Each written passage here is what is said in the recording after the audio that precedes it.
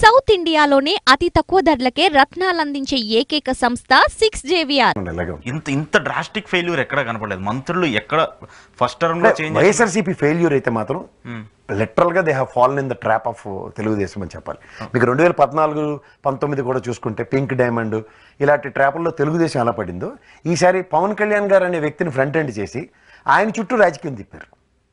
Okay మీకు వెనకాతల తెలుగుదేశం గురించి ఎక్కడ చర్చనీయాంశం కాకుండా మనకి తెల్లారులేస్తే ఏ ఛానల్లో డిబేట్లు అయినా సరే ఏవైనా పవన్ కళ్యాణ్ గారినే సెంట్రిక్గా చేసుకుంటూ ఆయన మ్యారేజ్లు వీటిలన్నిటి మీద మనం మాట్లాడి ఒక స్థితిని క్రియేట్ చేసి దాని చుట్టే రాజకీయాలు తిప్పితే నిజంగా గ్రామీణ స్థాయిలోనూ ప్రజలకి ఏం చేశారు అన్నది వాళ్ళు చెప్పుకోలేకపోయారు.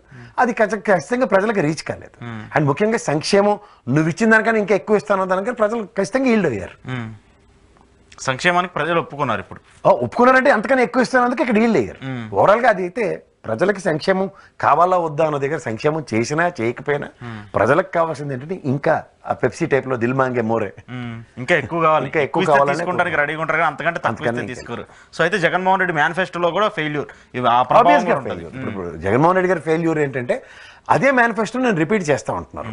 ఆ రిపీట్ చేస్తుంటే కొత్తదనం అంటే అంతకన్నా ఎక్కువ ఇస్తానన్న తెలుగుదేశం పట్ల ప్రజలు ఆకర్షితులు అయ్యారా ఆ సిక్స్ బుల్లెట్ పాయింట్స్ అన్నవి. మనం ఏమనుకున్నాం నరేంద్ర మోడీ గారు ఈ స్థాయిలో మాడారు అన్నది తర్వాత మీరు ప్రతిదానికి చూస్తే ఎక్కడైతే యాడ్ అవుతుంది అన్న దగ్గర వాళ్ళకి అన్ని మైనస్లు అయ్యాయి. అంచేత అవి మహిళల ఓట్ బ్యాంక్ పెరగడం కూడా వాళ్ళకి యాడ్ అవుద్ది అనుకున్నారు అది మైనస్ అయింది. అది కూడా అసలు ఫుల్ ఓవర్ నైట్గా ఇచ్చేస్తారు ఎక్కడ ఎక్స్పెక్ట్ చేయట్లేదు అంటే వాళ్ళ సక్సెస్ ఏంటంటే అమరావతిని కంటిన్యూస్గా ఫోకస్ చేసుకుంటూ వచ్చారు. అమరావతిలో జరిగిన దాష్టికాలని ప్రజలకి చర్చనీయాంశం చేయగలిగారు. అండ్ అమరావతి రాజధాని లేని రాష్ట్రం అన్న దగ్గర కూడా మూడు రాజధానుల బిల్లు విరమించుకున్న జగన్మోహన్ రెడ్డి ప్రభుత్వం చెప్పలేకపోయింది. ఇంకోటి ఏంటంటే గతంలో నేను తాడేపల్లి భవనం కట్టుకున్నాను ఇక్కడే ఉంటానని చెప్పిన దానికి ప్రజలు కన్విన్స్ అయ్యారు. కానీ నేను విశాఖ నుంచి పరిపాలిస్తున్నాను దగ్గర ప్రజలు కన్విన్స్ అవ్వలేదు. ఈ రెండు ప్రజలు గమనించగలిగారు. అంటే రాజధాని అమరావతి కావాలని ప్రజలు కోరుకుంటున్నారు అన్నది జగన్మోహన్ రెడ్డి గారు గ్రహించలేకపోయారు. ఇంకా రాజధాని మార్పు వాళ్ళు యాక్సెప్టెన్స్ లేదు. అందుకనే గుంటూరు కృష్ణ క్లీన్ స్వీప్ ఇచ్చారు. అండ్ మోర్ ఓవర్ విశాఖ పోనీ ఆయన రాజధాని కోరుకుంటున్న దగ్గర కూడా క్లీన్ స్వీప్ అయితే ఇవ్వలేదు. అవును.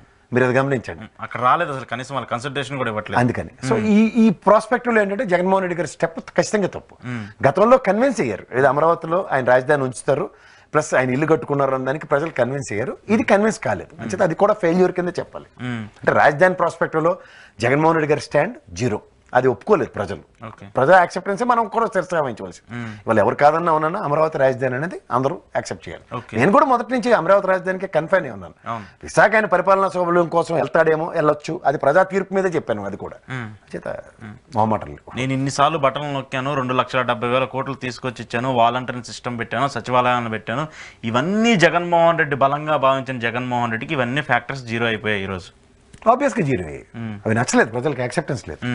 ఇప్పుడు ప్రజల తీర్పే కదండి నేనైనా మీరైనా చర్చ వహించవలసింది వాళ్ళు అన్ని చేసాం కాబట్టి ఎందుకు వెళ్ళేదని మాట్లాడడం తప్పు. అవి చేసిన వాళ్ళకి నచ్చలేదు. ఇదికన్నా ఇంకా ఎక్కువ కావాలి.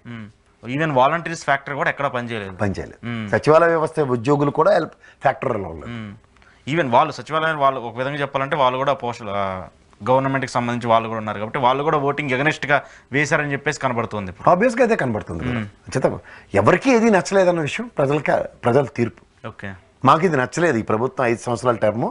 ఎందుకంటే నూట యాభై ఒకటికి ధీటుగా సమాధానం ఇచ్చారు. అంతకుమించి అంతకు మించి ఇచ్చారు. ధీటుగా అంటే అదే.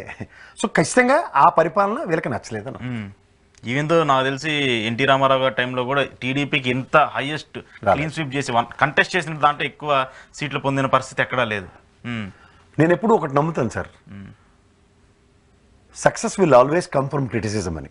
ఓకే నా క్రిటిసిజమే సక్సెస్ ఏమో వాళ్ళకి.